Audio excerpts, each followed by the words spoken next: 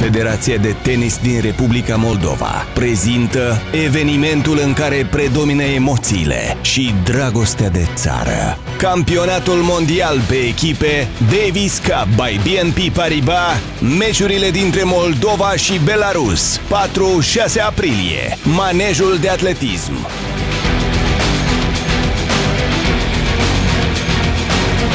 Un eveniment de la care nu poți lipsi.